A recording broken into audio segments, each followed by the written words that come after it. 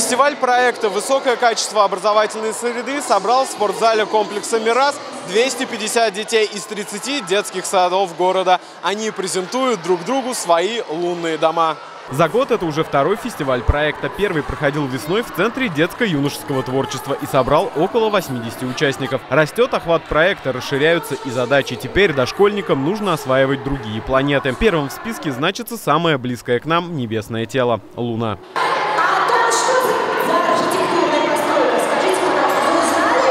Задача у воспитанников детских садов непростая – снабдить свой лунный город всей необходимой инфраструктурой. И дети со своей задачей справились. Кто-то строил административное здание, кто-то возводил жилые комплексы, кто-то разбивал парки и выращивал леса, кто-то сосредоточился на обустройстве общественных пространств и курортных зон. Даже батутному центру нашлось место. Потом все объекты соединили между собой звездной дорогой, чтобы знайки на Луне могли совершить небольшое путешествие. На соревновательный момент нет и намека. Основная ставка на социализацию. Этот фестиваль – это не только развитие инженерного мышления у детей и способности к конструированию, к архитектуре, это и взаимодействие ребятишек друг с другом. Это умение договариваться, умение представлять то, что хотят сделать совместно, и, конечно же, фантазировать. Проект «Высокое качество образовательной среды» включает в себя еще один масштабный аспект – шкалу оценки доступности образовательной среды «Экерс». Благодаря ей акцент в образовании делается на обучении ребенка своими силами. Родители и педагоги лишь могут помогать. А на фестивале родители, прежде всего зрители и болельщики, и вместе с детьми в постройке не участвуют и не помогают, как бы им этого не хотелось. Хочется помочь,